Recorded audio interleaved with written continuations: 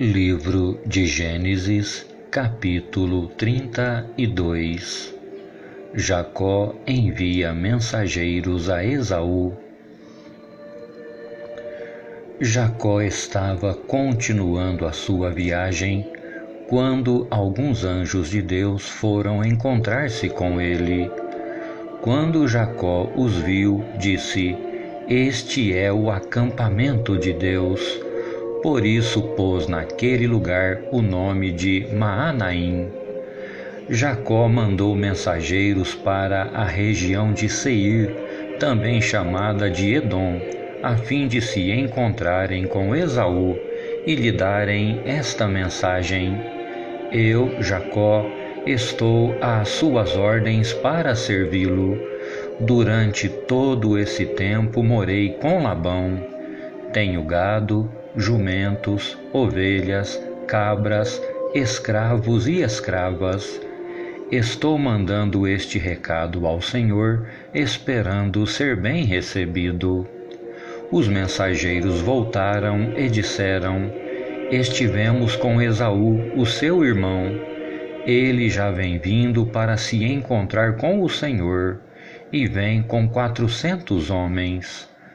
Quando Jacó ouviu isso, teve muito medo e ficou preocupado.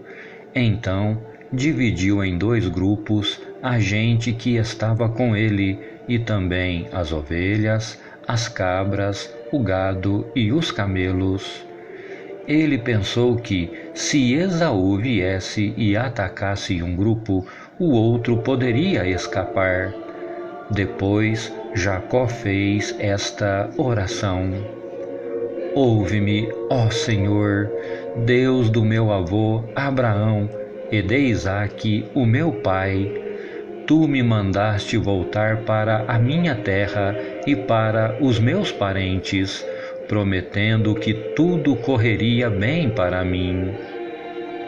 Eu, teu servo, não mereço toda a bondade e fidelidade com que me tens tratado quando atravessei o Rio Jordão, eu tinha apenas um bastão e agora estou voltando com estes dois grupos de pessoas e animais. Ó Senhor, eu te peço que me salves do meu irmão Esaú.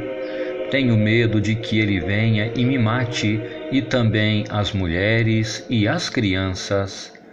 Lembra que prometeste que tudo me correria bem e que os meus descendentes seriam como a areia da praia, tantos que ninguém poderia contar. Naquela noite, Jacó dormiu ali. Depois, ele escolheu alguns dos seus animais para dar de presente a Esaú. Escolheu duzentas cabras e vinte bodes duzentas ovelhas e vinte carneiros, trinta camelas com as suas crias que ainda mamavam, quarenta vacas e dez touros, e vinte jumentas e dez jumentos. Jacó dividiu esses animais em grupos e pôs um empregado para tomar conta de cada grupo, e deu esta ordem: Vocês vão na frente deixando um espaço entre os grupos. Jacó disse ao primeiro empregado: Quando o meu irmão Esaú se encontrar com você, ele vai perguntar: Quem é o seu patrão? Aonde você vai? E de quem são esses animais que você vai levando? Então responda assim: Estes animais são do seu criado Jacó são um presente que ele está enviando ao seu patrão Esaú, e ele também vem vindo aí atrás.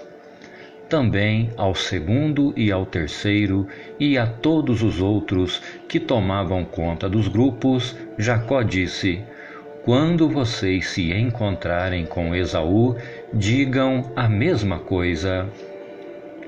E não se esqueçam de dizer isto o seu criado Jacó vem vindo aí atrás. É que Jacó estava pensando assim: Vou acalmar Esaú com os presentes que irão na minha frente, e quando nos encontrarmos, talvez ele me perdoe. Desse modo, Jacó mandou os presentes na frente e passou aquela noite no acampamento.